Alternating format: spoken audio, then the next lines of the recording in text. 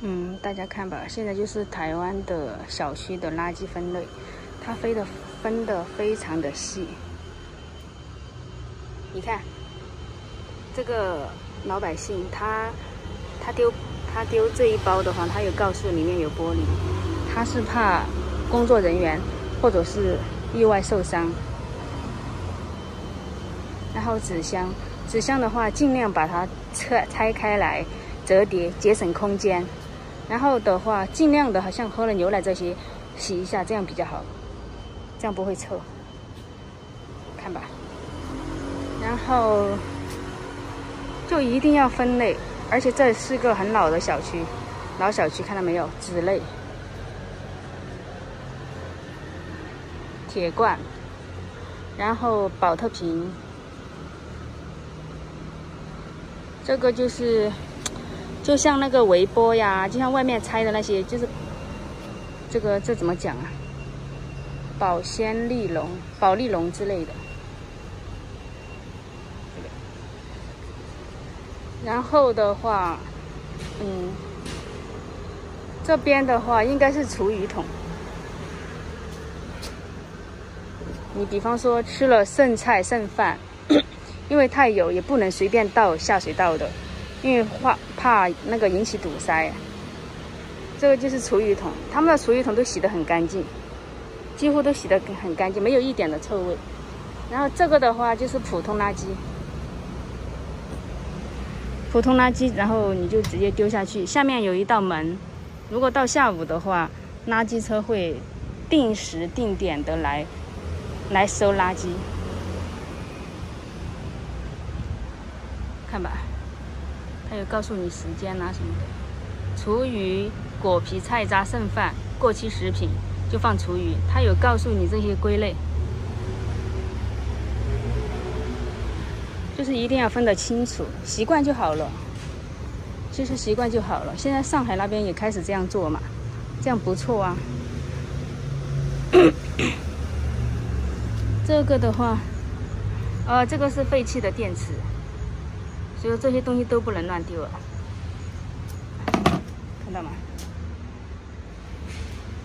然后的话，这个就是工作人员打扫的一个区域嘛，放手套呀、那个拖把呀、扫把之类的。然后这边就是衣物，你要丢衣物的时候，你也一定要洗干净，洗得干干净净的，然后放在这边。再回收。这边的话，就是一些小玩具了，小朋友的不要的玩具啊、伞啊之类的，就是也算可回收了。看到没有？差不多时间到了哈，都这样，但是一定要包得干干净净，闻不到任何的味道。啊，对面也是。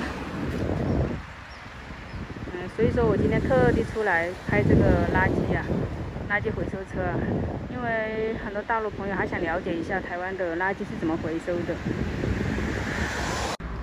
像这个的话，也是楼上也是小区啊，就是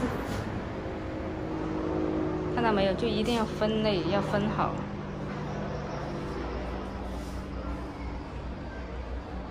这个写的很清楚啊，因为你不分好的话。然后就比较麻烦了，而且抓到会罚钱呢。看到没有？厨余饮料请倒掉，你要先倒掉。嗯，比方说湿湿的一些饮料你就倒掉，不要说留在瓶子里面再给人家回收。最好是倒掉之后哈，然后把瓶子洗一下再回收，是这样的。像这些一定要绑好，缩小空间，这是必须的。不能乱七八糟的，一定要整理好。像这些的话，提前就要分类好。看到没有？食物这一包是食物，过期的面包啊什么的。然后下面是那个塑料的塑胶，然后纸，然后就是要这样整整洁洁的这样摆着，回收这样才比较方便，节省时间，不会给下一组回收的人增加太多的麻烦。像对面的话，也是一个小区。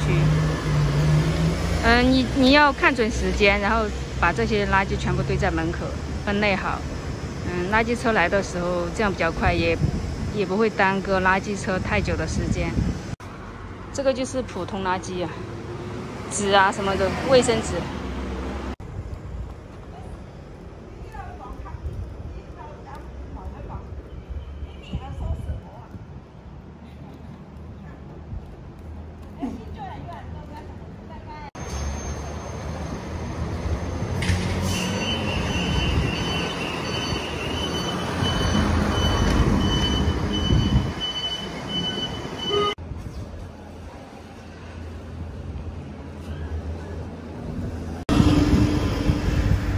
对面是用车子推出来的，一定要整理的好好的，等待垃圾车来收。看吧，厨余回收普通垃圾。